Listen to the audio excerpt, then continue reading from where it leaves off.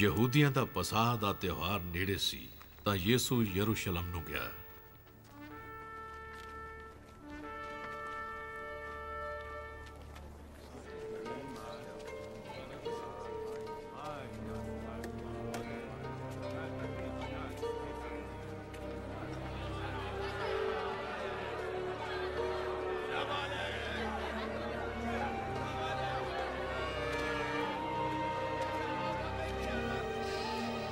ਔਰ ਉਸ ਨੇ ਹੈਕਲ ਵਿੱਚ ਡੰਗਰਾਂ ਤੇ ਭੇਡਾਂ ਅਤੇ ਕਬੂਤਰਾਂ ਦੇ ਵੇਚਣ ਵਾਲਿਆਂ ਅਰ ਸਰਾਫਾਂ ਨੂੰ ਬੈਠੇ ਵੇਖਿਆ।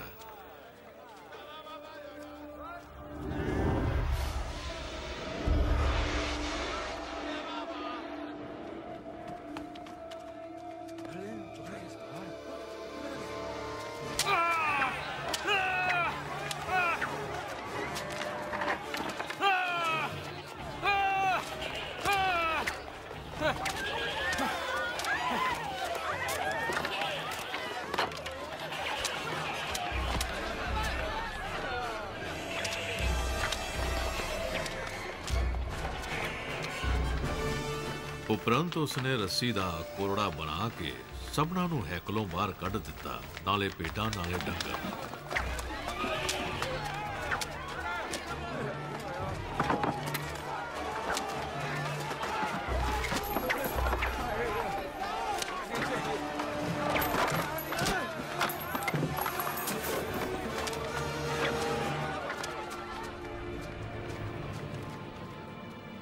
ਅਤੇ ਤਖਤਪੋਸ਼ ਉਲਟਾ ਸੁੱਟੇ ਅਤੇ ਸਰਾਫਾਂ ਦੀ ਰੋਕੜ ਖਿੰਡਾ ਦਿੱਤੀ।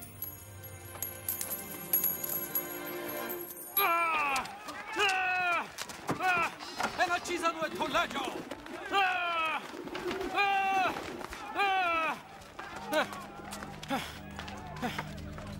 ਮੇਰੇ ਪਿਤਾ ਦੇ ਘਰ ਨੂੰ ਵਪਾਰ ਦੀ ਮੰਡੀ ਨਾ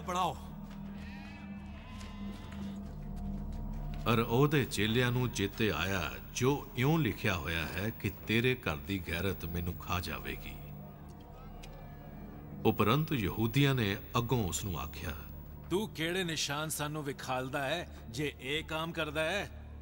ਇਸ ਹੈਕਲ ਨੂੰ ਢਾਹ ਸੁੱਟੋ ਤਾਂ ਮੈਂ ਤਿੰਨਾਂ ਦਿਨਾਂ ਵਿੱਚ ਇਹਨੂੰ ਖੜਾ ਕਰ ਦਿਆਂਗਾ।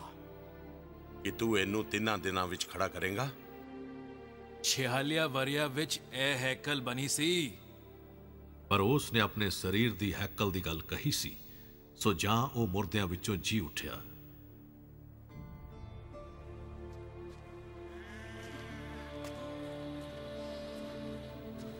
ਤਾਂ ਉਸ ਦੇ ਚੇਲਿਆਂ ਨੂੰ ਚੇਤੇ ਆਇਆ, ਜੋ ਉਸ ਨੇ ਇਹ ਆਖਿਆ ਸੀ ਅਤੇ ਉਹਨਾਂ ਨੇ ਉਸ ਲਿਖਤ ਦੀ ਅਤੇ ਉਸ ਵਚਨ ਦੀ ਜੋ ਯਿਸੂ ਨੇ ਕਿਹਾ ਸੀ, ਪ੍ਰਤੀਤ ਕੀਤੀ।